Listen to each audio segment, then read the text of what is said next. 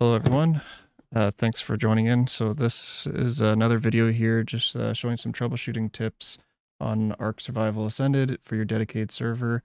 Um, the process has somewhat changed from the last video I had. Uh, before we were basically just running it from Steam. Uh, now we have to log in anonymously through Steam CMD and I'm going to show you how to make a batch file to update and launch the server. Um, it's pretty similar to my previous videos if you watched the first video on Steam CMD. But yeah, let's just jump right in. I just want to start off just by saying uh, thank you everyone for all the support. Uh, thanks for watching the videos and commenting uh, and trying to answer as, as much as I can. It, it, can be a little bit overwhelming trying to answer all the questions, but I do appreciate uh, you guys watching. And I'm happy that a lot of you were able to get the server going. And I do appreciate uh, those who did subscribe to the channel. It does give me a reason to keep making these videos. Um, so let's just get going here. I'm going to show you how to make the update server bat and how to make the uh, start server bat and what we need to do every time we start the server. All right, so the first thing we need to do if you follow the easy method is we're going to need to install Steam CMD. If you followed my first video, this, this is already installed on your PC. But we're going to go to this website here. I'll put the link here for you. And we're going to click on downloading Steam, CMD. We're going to click on Windows. And if you follow the, the instructions here, it says to create a folder. So we're going to go for this. We're just, if you follow my video, just use the same path as me. But we're going to go to C and I'm just going to create a new folder here. And we're going to call it like that, Steam CMD.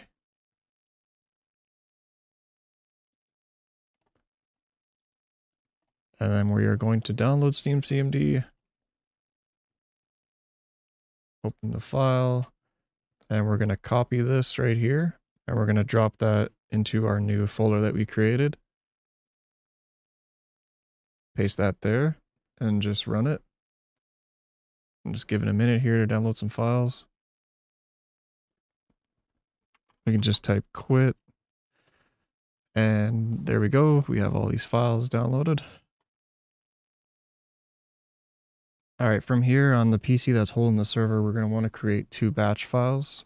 So we're going to right click on our dedicated server, manage, browse local files. And from here, we're going to go to shooter game, binaries, Windows 64. So we basically want to find our Windows 64 folder. This is the path. I'll put the path here for you. So we're going to right click, we're going to do new or actually, no, we're going to open up Notepad. And we're going to basically paste a command here. I'll put the command here on the screen for you. But this will be the command. And we are going to save that into the same spot as our folder, as our server.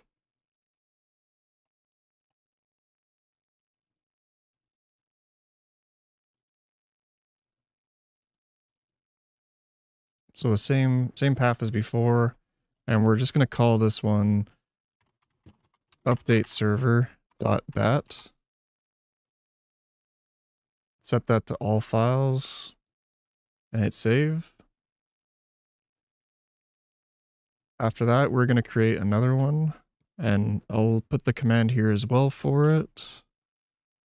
That is right here. So this will be our batch file to start the server. Um, so if you want mods, this is where you would put the mods. If you watch my previous video, this is where it would be. So this you don't have to have this if you're not planning to have mods. Uh, dash crossplay, this seems like a new thing we have to put on for, to enable crossplay. Some are saying it's enabled by default, but others are saying to put it on. So uh, it's up to you if you want to put that on, if you want to play with other consoles. And session name, we'll just put the name of our session. We're not going to put like our server password here. Uh, and I'll put, I'll put it on the screen here for the command. And the same thing, we're going to save that in the same spot, the Windows 64, and we're going to call this one start server.bat. All files, hit save. Now when we go here, we should see two files, one start server, one update server. Uh, the last thing we need to do is need to check our game user settings. All right, so from here, we're going to go again, browse local files. We're going to go to shooter game, saved, config, Windows Server, and this is the path. I'll put the path here for you as well. And We're going to open up game user settings. Um, so same place as before as my last videos. Um, but one thing I did notice is that um, it's better to have your server admin password and server password here in the game user settings. For some reason, if you add it to the batch file, some things don't like to cooperate. So it's better to have as little as possible into the batch file and most of your stuff in the game user settings or the game.ini, depending on like what the mod requires.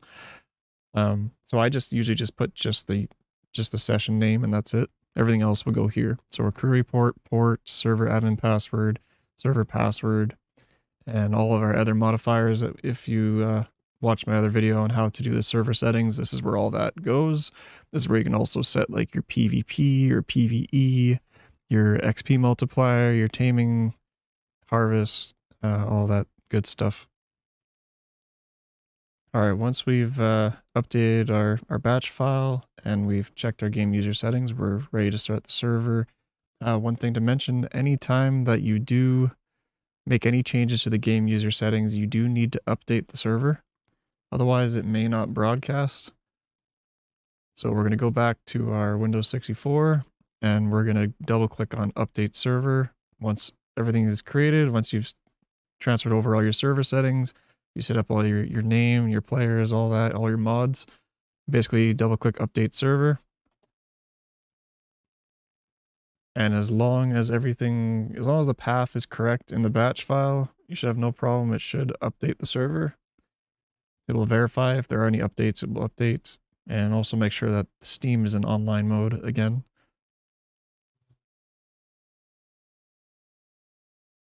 Once that's done, it will close on its own, and then we'll just we'll start our server.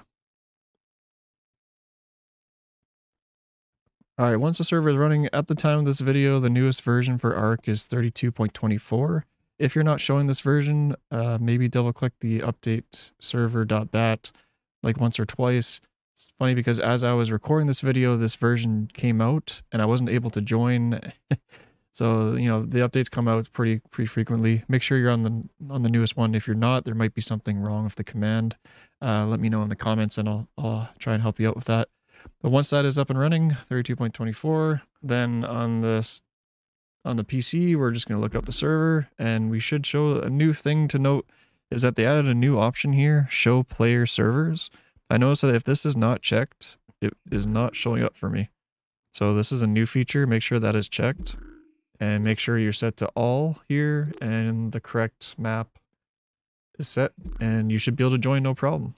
And for me, I put in a, a mod here. This is a turkey trial. But we just put in our password and we should be able to join.